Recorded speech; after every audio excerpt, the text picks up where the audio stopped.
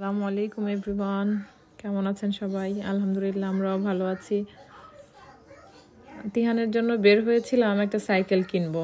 তো সাইকেলের জন্য আজকে সারাটা দিন সে কান্না করতেছে যে আমাকে আজকে সাইকেল কিনে দিতেই হবে। তো ওর বাবা ওকে বোঝাচ্ছে যে, না, এখন না, আর কিছুদিন পরে কিনে দিব। এই জন্য সে কান্নাকাটি, রাস্তায় কান্নাকাটি শুরু করে দিল। এত বোঝানোর পরেও তারপরও শেষমেশ আমাদের সেই সাইকেল তাকে কিনে দিতেই হলো।